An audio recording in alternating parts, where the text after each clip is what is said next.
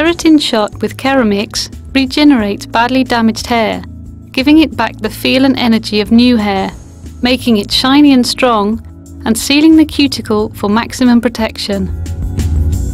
Controls volume and curl, swiftly eliminating frizz to make creating straight styles much easier, quicker and longer lasting. After applying Keratin Shot and Keramix, it's not necessary to wait before washing and styling hair as usual. The Keratin Shot treatment with Keramix is made up of these five products. Keratin Shot Maintenance Shampoo, Keratin Shot Straightening Cream, Keramix Vials, Deep Impact Plus,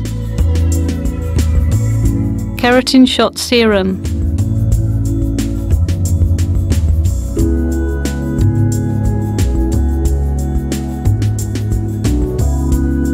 If hair is very greasy or shows signs of product buildup, we recommend washing with Keratin Shot Maintenance Shampoo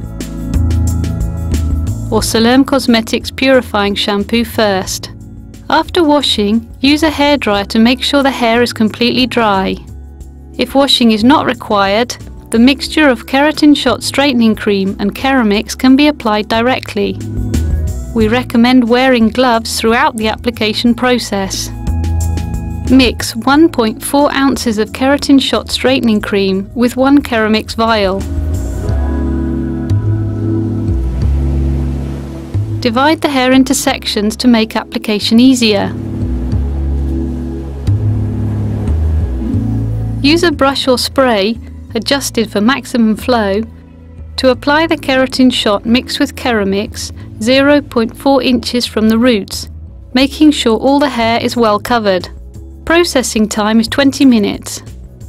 Extra heat should not be applied during this time and the hair should remain uncovered. Remove excess product with a fine-tooth comb, then use a towel to pat any remaining residues off the hair. Use a hairdryer and brush to dry the hair in a straight position. Make sure the hair is totally dry. Starting from the nape of the neck, take small sections of hair and straighten with a flat iron set at 410 to 428 degrees Fahrenheit. The number of times you will need to go over each section will depend on the hair's porosity. Leave the hair to cool for 10 minutes. Wash with Keratin Shot Maintenance Shampoo. Rinse well, then condition with Keratin Shot Deep Impact Plus Mask. Rinse, dry and style as usual.